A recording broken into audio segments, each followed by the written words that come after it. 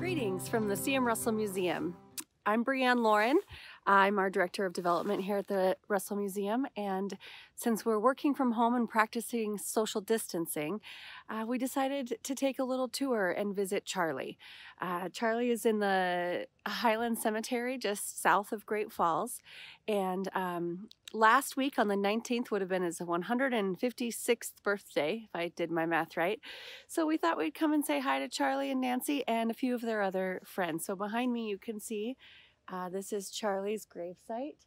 Uh, as you know, or you may know, he was brought here by um, a horse carriage. He did not want an automobile bringing him to his resting place. Next to Charlie, Nancy is laid. It's a beautiful morning here in Great Falls, so we'll go ahead and show you a couple other friends that are around here with him. This really is kind of a special area here um, at the cemetery with Russell, uh, like I mentioned, we have Nancy, but right next to Nancy and Charlie, we have um, Albert and Margaret Trigg. They were the neighbors of Charlie and Nancy and very, very good friends with them. Um, their daughter, Josephine, who uh, really is the reason we have a museum today. Um, she gifted her collection of her personal collection of Charlie um, of all of Charlie's arts and art and letters. And so she lays just behind his headstone. Here's Charlie. Uh, Josephine lays right here by him. And then very um, aptly right behind are Fred and Ginger Renner. Also on our tour, you'll see that we have O.C. Seltzer. He's also out here with Charlie and all of those, um, everybody else that keeps good company with Charlie. So on this morning that we're visiting Charlie um, and sharing with you today, I want to read a little excerpt from um, John Taliaferro's book, Charles M. Russell, uh, regarding his funeral procession. The procession procession from the church to Highland Cemetery was signature Russell. Charlie had let it be known that he did not want to be carried to his grave in a skunk wagon. Quote, but by 1926, there were no more horse-drawn hearses to be found in Great Falls.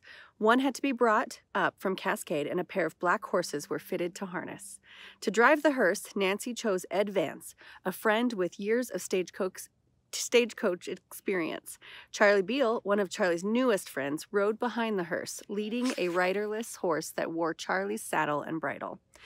As an added flourish, Charlie's six Charlie's Colt six guns and holsters were strapped behind the cantle. Horace Brewster, Charlie's old roundup boss, rode alongside Beil. Completing the cortege was a long line of automobiles, at the front of which were Nancy and Jack in the chauffeured Lincoln. Highland Cemetery is located on a gentle rise two miles south of the city. Will Rogers had wired money and directions for a graveside flower arrangement shaped like a saddle, and when the mourners raised their heads from prayer, they gazed across a rolling prairie, golden brown according to the season. In the distance, east and south, they could make out the timbered Highwood and Little Belt Mountains, two guardians of Charlie's Judith Basin.